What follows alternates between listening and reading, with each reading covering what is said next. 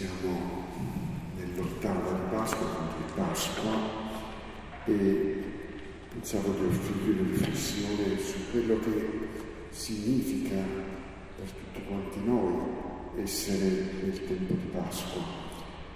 La vita cristiana è essenzialmente e inequivocabilmente quella realtà che trae origine proprio dal mistero pasquale dell'incontro con Gesù di Nazareth, crocifisso, morto e risorto per noi, che caratterizza la nostra vita. Chi incontra veramente Gesù risorto non può essere lo stesso di prima. I santi ci testimoniano questo, iniziando da San Paolo San Paolo arriva a dire io sono stato crocifisso con Cristo e non sono più io che vivo, ma Cristo vive in me. Questa vita nella carne io la vivo nella fede del Figlio di Dio che mi ha amato e ha dato se stesso per me. Paolo ha incontrato il risorto, la sua vita è cambiata e così potremmo dire che sia stato per tutti i discepoli di Gesù, gli apostoli, pensiamo anche a Pietro che aveva rinnegato il Maestro, quando incontra Gesù risorto, cambia completamente molta persona. E così potremmo dire per tanti santi nella storia della salvezza, nella storia della Chiesa, che avendo fatto un'esperienza profonda di Gesù risorto, non sono gli stessi non sono più stessi. Siamo Sant'Agostino, San Francesco, Sant'Ignazio di Loyola, ma proprio tutti, come tutti. Allora, evidentemente questo cambiamento radicale, sostanziale, non è qualcosa come un interruttore, non è come il cellulare, io lo accendo e lo spengo in pochi secondi un interruttore della luce, una frazione di secondo la luce si accende e si spegne. Non è come l'accendino, premo, la frazione di secondo si accende. È un qualcosa che eh, si realizza un po' alla volta. Paolo stesso parla, dice che lui stesso fatto un cammino. In questo cammino è passato da una condizione di bambino a una condizione di adulto. Ma per esempio quando parla a, ai Corinti, alla comunità di Corinto, dice eh, voi siete ancora bambini, dovete ancora crescere.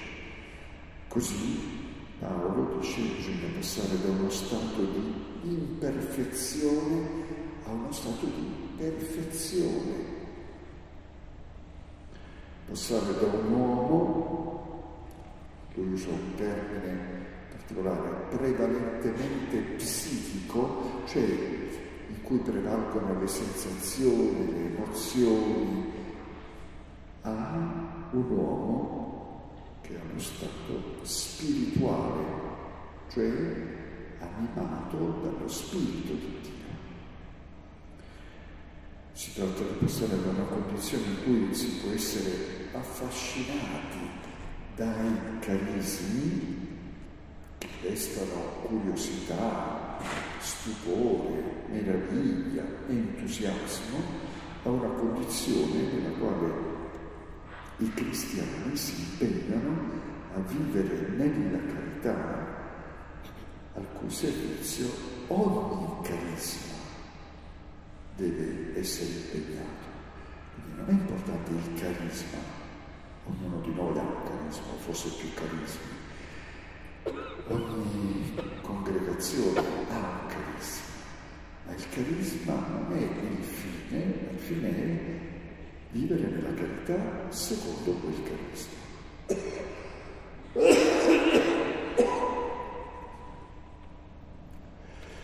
Per fare questo è necessario un rinnovamento profondo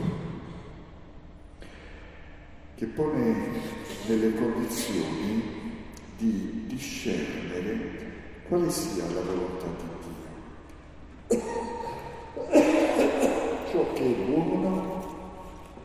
lui credito è perfetto, direbbe San Paolo nella lettera di Romano, per attuare quella che è la volontà di Dio. Anche su questo ci deve essere un punto di grazia.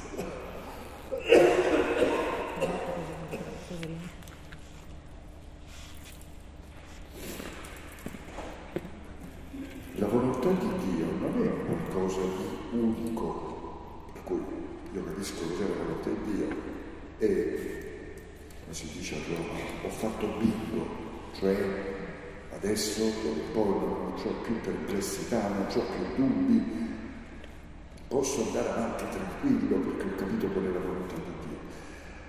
E forse questo sarebbe il nostro desiderio, ci togliamo una volta per sempre il pensiero di capire qual è la volontà di Dio e poi andiamo lisci. Non funziona così con Dio. Ma la volontà di Dio si manifesta un po' alla volta perché noi possiamo essere sempre aperti all'azione dello Spirito per capire dove il Signore sta portando noi stessi, la nostra comunità, la nostra congregazione, la Chiesa. È una scoperta graduale quella della volontà di Dio. Quindi qualcosa da cercare continuamente. Grande nome italiano, Edoardo De Filippo, diceva gli esami non finiscono mai, ed è vero, perché continuamente ci dobbiamo chiedere, ma Dio che vuole da me, che vuole dalla nostra comunità, che vuole dalla nostra congregazione, che vuole dalla Chiesa. Cioè è un continuo di ricerca. In fondo anche il Vangelo di oggi, quando dice non essere più incredulo ma credente, lo dice nel senso del credere progressivo, dell'avanzare nella fede progressiva, nell'avanzare nella scoperta della volontà di Dio, progressivo. Quindi non è tutto nulla, ma è un processo. Andando sempre oltre ciò che di volta in volta lo Spirito stesso di Dio ci lascerà comprendere. L'unica cosa certa, secondo sicura, non, non dobbiamo avere dubbi di nessun tipo, dubbi ne possiamo avere tanti, ma su questo no. L'unica cosa certa è che si tratta di immergerci sempre di più nell'amore di Dio, nell'amore della Santissima Trinità, nell'amore del Padre che ha talmente tanto amato il mondo da dare il suo figlio Gesù Cristo. E Gesù, che ha compreso così tanto questo messaggio di amore del Padre, che è arrivato a dare la sua stessa vita per ciascuno di noi. E quello stesso amore c'è tra il Padre e il Figlio, tra il Figlio e il Padre, che ha mosso il padre a donare il figlio, il figlio a donare la sua vita, è lo stesso identico amore che Gesù vuole che ci sia fra di noi. Vangelo di Giovanni, nel testamento spirituale, Gesù dice amatevi gli uni gli altri come io vi ho amato, ponendo in se stesso, nella, nella comunione di amore che c'è tra Dio e il Padre, la sorgente dell'amore che possiamo vivere noi e ponendo in se stesso in Gesù l'esempio, il modello. Cioè, se fossimo un po' incerti di come si ama, guardiamo Gesù come modello, come ha amato Gesù.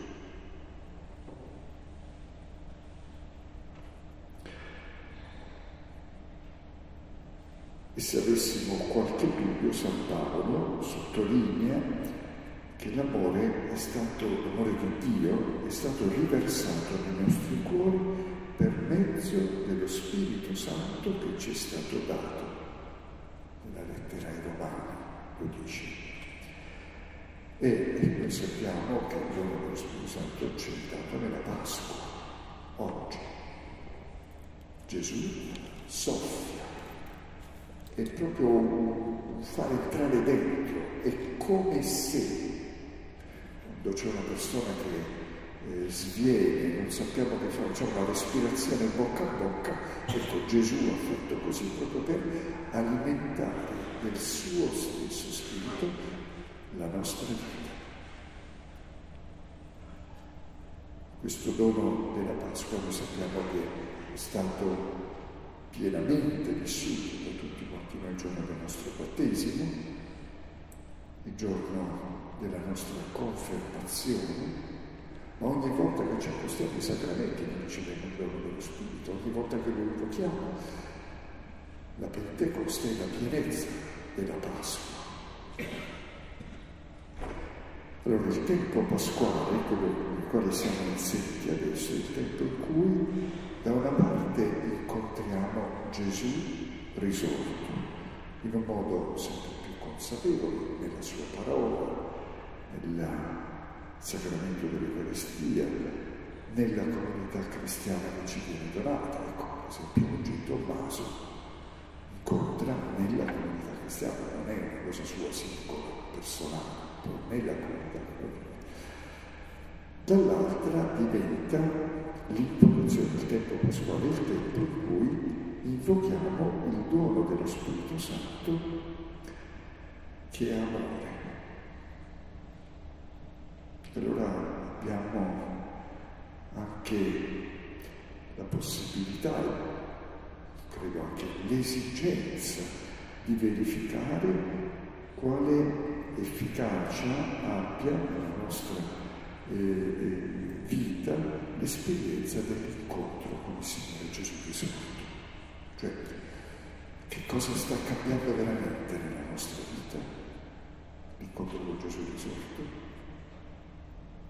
sto crescendo nell'amore che Cristo è venuto a sto crescendo nell'amore della Chiesa che Gesù è venuto a sto crescendo nell'amore per i fratelli e le sorelle che il Signore mi sta facendo incontrare, mi ha messo accanto nella comunità, perché poi diventa relazione su questo, no? alla fine delle fine, ma io sto crescendo nell'amore di Gesù risorto.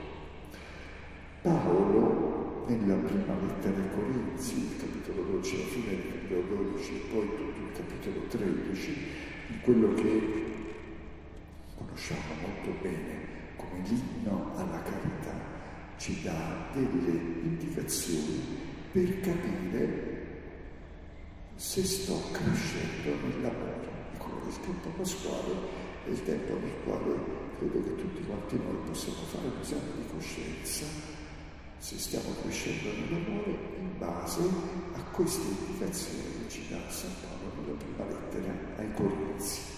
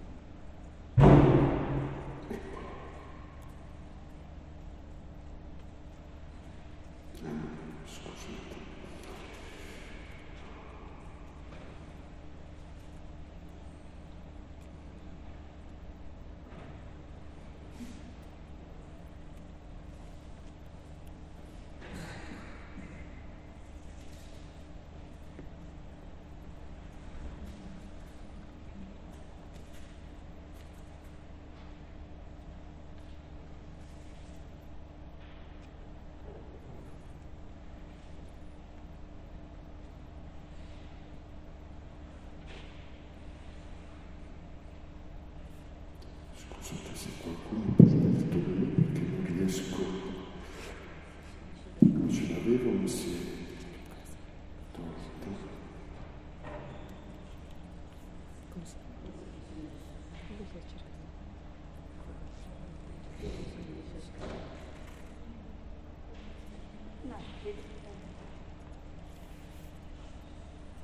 Prima Corinzi 12, 13. Hai già trovato? Posso? Bisogna cercare.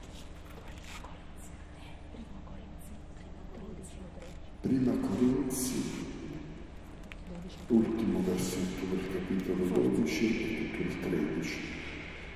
Prima ce l'avevo, ma è andato via dalla schermata.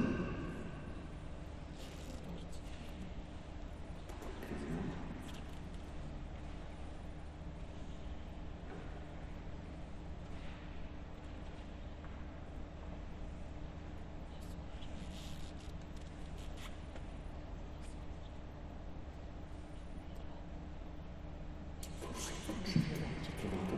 prima Corinzi. Prima Corinzi 13, forse non c'è il campo, che prima ce l'avevo ma è andata via dalla schermata. Ecco. Grazie. Quando anche parlassi le lingue degli uomini e degli angeli, se non ho la carità divento un rame risuonante o uno squillante cembalo. E quando avessi il dono di profezia e conoscessi tutti i misteri, tutta la scienza, e avessi tutta la fede in modo da trasportare le montagne, se non ho la carità non sono nulla. E quando distribuissi tutte le mie facoltà per nutrire i poveri, e quando dessi il mio corpo ad essere arso, se non ho la carità, ciò niente mi giova. Allora Paolo introduce con questi primi tre versetti una cosa che lui ne faceva esperienza, il dono delle lingue, il dono della profezia, il dono di una grande fede e di una grande capacità di dono di se stesso. Ma dice che se io non ho la carità, tutto questo non conta nulla. È proprio nulla. È un po' come quando nel Vangelo di Matteo c'è qualcuno che dice Signore, Signore, abbiamo profetato nel tuo nome, fatto miracoli nel tuo nome. E Gesù dice, ma io non ti conosco, non so chi siete. È terribile questo, ma per dire che se non siamo immersi nella carità di Cristo, tutte le cose più belle, i sacrifici più grandi che potessimo fare non servono a nulla, tutte le conoscenze, le intuizioni non servono a nulla. Cioè il motore di tutto, ciò che tiene in piedi tutto è la carità di Cristo. E poi descrive in un modo crescente tutte le caratteristiche della carità. La carità è paziente, è benigna, non invidia, non si vanta, non si gonfia, non si comporta in modo sconveniente, non cerca il proprio interesse, non si inasprisce, non sospetta il male, non gode dell'ingiustizia, ma gioisce con la verità. Soffre ogni cosa, crede ogni cosa, spera ogni cosa, sopporta ogni cosa. Allora proviamo a scorrere queste caratteristiche. La carità è paziente. L'esame di coscienza che ci dovrebbe portare a chiederci quanto noi siamo capaci di attendere, di attendere l'altro, di attendere che l'altro, no, ma anche nelle cose semplici, semplici della vita, che l'altro cammini per arrivare nel refettorio, magari è un po' anziano, fa fatica, allora devo stare davanti, devo correre. oppure che l'altro trovi un numero di telefono, allora butto avanti, bene. Saper aspettare, essere pazienti, per ulteriormente crescere, anche sapere aspettare la crescita dell'altro. Non sempre, soprattutto le persone giovani, riescono a cogliere quello che una persona più adulta, più anziana come noi. Allora sapere che l'adolescente o il giovane maturi quel valore che noi vorremmo vedere subito interiorizzato. Ma non è così, delle volte ci vogliono anni. La carità è paziente. La carità è paziente anche nel senso di non assecondare pregiudizi istintivi. Cioè ci viene, sì sì, tanto già lo so quello che vuoi dire, ancora non l'ho detto. Io già so quello che tu pensi, perciò ti prevengo. È un rischio questo.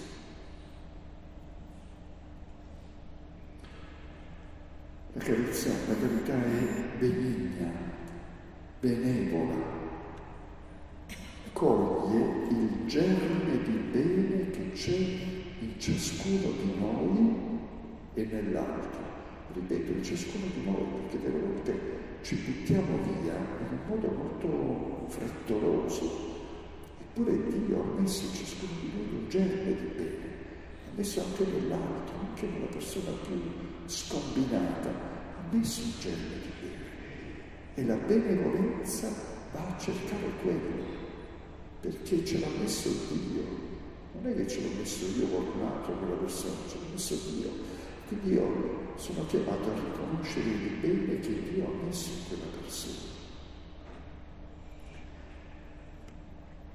Sono chiamato a riconoscere che quello che gli altri dicono non tutto è sbagliato, delle volte è detto male, è detto pieno di, di, di strafalcioni, però anche in un'osservazione fosse pure di una persona antipatica, quella persona c'è il germe di bene, quello che dice c'è il germe di bene. Forse il fatto di coglierlo, di metterlo davanti, ho capito che tu mi vuoi dire questa cosa, che mi sembra molto bella e importante, forse fa cadere delle resistenze che facilitano il confronto, il dialogo, la disponibilità. Diceva San Francesco di Sales che si guadagna molto di più con un cucchiaino sporco di miele che con un barile di aceto. Ed è vero.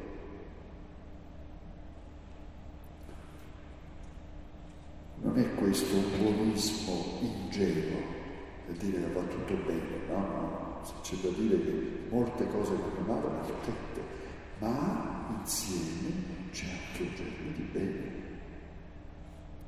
Questo vuol dire che bisogna fare un discernimento oggettivo, non secondo la soggettività del proprio istinto, delle proprie emozioni, pregiudizi, esperienze passate, ma qui è ora, quello che il Signore mi aiuta a vedere con occhi nuovi, quella persona, in quella situazione. Poi non è invidiosa, cioè cogliere il bene dell'altro nella sua diversità senza sentirlo come un bene che fa la concorrenza. Allora facciamo il braccio di ferro, dobbiamo correre per primi per arrivare prima degli altri. Non è colto come qualcosa che fa ombra al mio bene come pietra d'inciampo per quel bene che sto cercando di fare anch'io. Piuttosto viene colto come qualcosa che unito al mio bene può essere più utile per il bene comune, cioè che il bene comune della comunità, della nostra relazione, della Chiesa,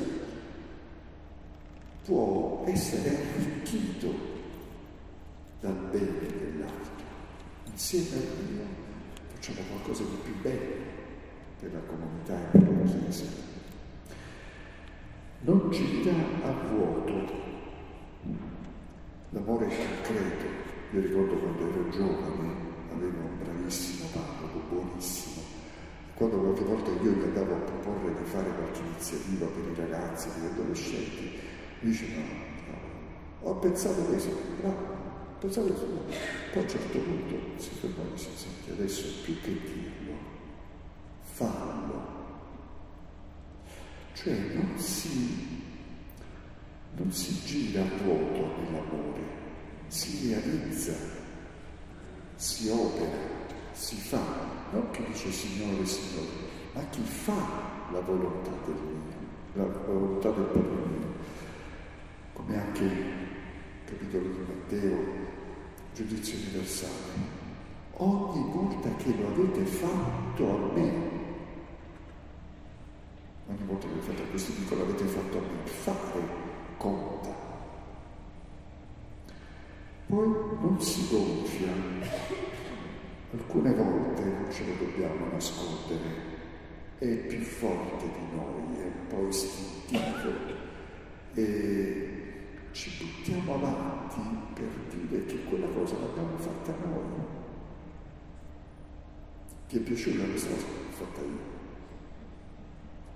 Faccio istintivo.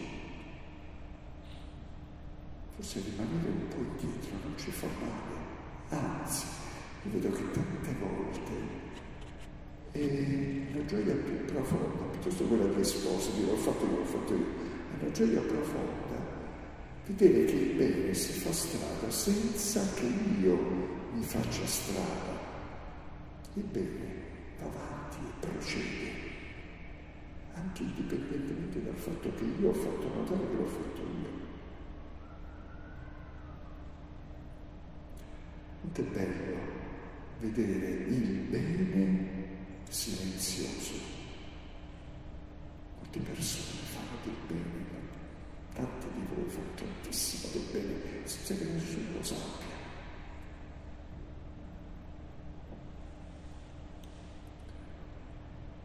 delle volte mettere avanti, l'ho fatto io, oppure, questo mi capita delle volte di sentire in alcune associazioni o movimenti, sapete perché noi siamo di quel movimento, di quell'associazione. C'è bisogno di dirlo, è proprio necessario per la salvezza dirlo. Allora mi pare di ricordare il proverbio che mi diceva mia nonna, per un granello di sale, manti sale, manti ad amare la minestra. Cioè, avevi fatto tanto del bene, poi dovevi aggiungere quella battutina lì, si è rovinato. Cioè, essere anche un po' liberi dal dire, dal far notare, dal gonfiarsi, dal vantarsi. Non è sregolato. Tante volte capita a tutti quanti noi di fare tanto del bene, ma in modo sregolato. Siamo generosissimi, però in modo esagerato. Manca l'attenzione a un particolare, a un particolare per quella persona.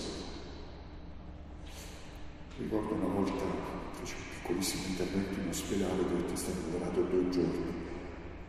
In camera dove ero ricoverato avevano lavato per terra e messo la sedia rovesciata sul letto io però non mi potevo alzare per toglierla. Tante persone entravano, mi davano da parlare, salutare, portavano dolcetti e cose varie, nessuno che toglieva quella sedia. Entra una suora, conta e ci fa sedia qua, la toglie. L'attenzione al particolare, l'attenzione al particolare per quella persona.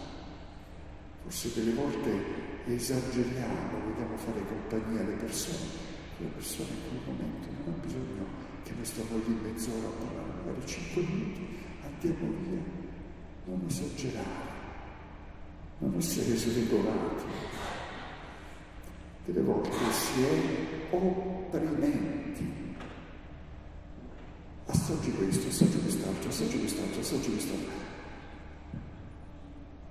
Forse è più delicato dire, guarda, abbiamo fatto delle cose, quando vuole prenda pure quando è troppo è troppo. Ce l'ho, non ci dice troppo zelo, troppo zelo. La carità è attenta ai particolari, è delicata, sa cogliere quello che quella persona ha bisogno in quel momento senza strafare, senza esagerare. Non cerca il proprio vantaggio, L'ho fatto perché mi volevo sentire la coscienza a posto. Allora l'hai fatto per te, l'hai fatto per noi. L'ho fatto perché mi sentivo di farlo. Allora l'hai fatto perché ti sentivi di farlo. Non hai valutato se era opportuno farla, quella cosa in quel momento, per il bene più grande della comunità. L'amore non si esaspera,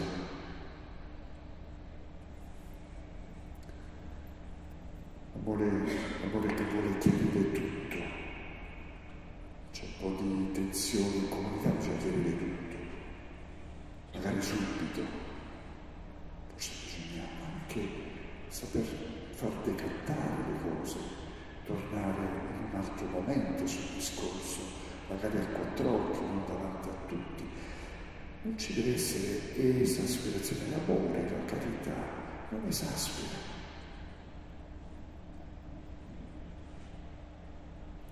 non tiene conto del male ricevuto. Senti bene, non è che ha gli occhi formati di prosciutto. Se una persona è maleducata, se una persona si comporta male, se una è inopportuna, lo vede chiaramente.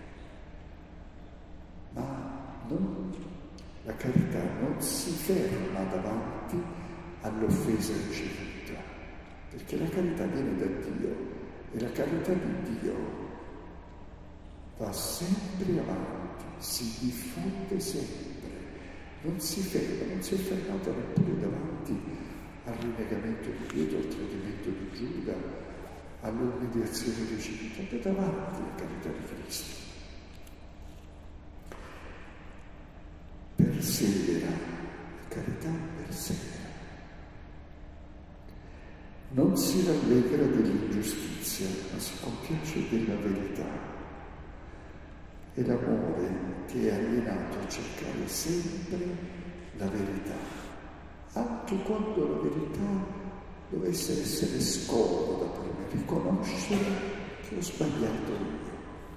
Però è la verità. Anche se la verità dovesse essere scomodo per noi, non è conveniente per noi. Eh, ma è la verità, lo riconosco, abbiamo sbagliato potevamo fare diversamente, potevamo fare meglio. Cioè il primato, il punto è sempre della verità, senza scendere a compromessi con le mezze verità, quelle che una volta, quando si confessavano le vecchiette, dicevano le bugie bianche, senza troppo conseguenze sugli altri. Sì, ma non è la verità. Poi Paolo dice, per carità, tutto crede, tutto sopporta, tutto spera. Paolo adesso va proprio in orbita perché si sente coinvolto totalmente da questa esperienza della carità. Lui ne ha fatto l'esperienza, perciò ne parla. Allora usa per quattro volte tutto, tutto, tutto, perché oramai è coinvolto completamente, non c'è nulla di sé che non è coinvolto, è coinvolto il cuore, la mente, l'intelligenza, i sentimenti, la volontà, il corpo, tutto, completamente coinvolto. Oramai lui è pienamente identificato con Gesù Cristo, anzi, come dicevamo all'inizio, Cristo vive in lui. E allora si apre a tutto, tutto spiega. È creativo, tutto posso in colui che mi dà forza. Santa Teresa d'Avila diceva, io da sola nulla. Teresa con Dio tutto. Questa totalità che quando l'abbiamo sperimentata davvero ci ha fatto sperimentare qualcosa di unico, qualcosa di straordinario. Ci sentiamo eh, come spazio. Dice, ma, ma io non, non immaginavo di essere capace di arrivare a tanto, ma non sono io che l'ho fatto, è Cristo vivo in me che ha realizzato tutto questo. Allora si aprono orizzonti nuovi che suscitano stupore, meraviglia, gioia e in ultima analisi la lode di Dio, perché poi alla fine di tutto entrare in questo tipo di amore, avendo incontrato Gesù risorto, essendosi fatti impregnare dall'amore di Cristo, entrando in questa prospettiva di totalità, il fine ultimo qual è? La lode di Dio, benedetto sia Dio, Padre del Signore nostro Gesù Cristo. E allora si è inseriti in questo vortice di totalità, di eternità, di vita. Il Vangelo di oggi si concludeva, molte altre cose potevamo scrivere, dice Giovanni, ma queste sono state scritte perché voi crediate che Gesù Cristo è il figlio di Dio e perché credendo in Lui possiate avere la vita. Ecco, questa è la vita vera, la vita eterna, la vita dei cristiani. Allora vivere così è una vita realmente da risolvere. Tutto questo ci dice che c'è un processo nel quale noi siamo e con pazienza cerchiamo, con l'aiuto di Dio, la guida dello Spirito Santo, di progredire per arrivare a questa pienezza di vita.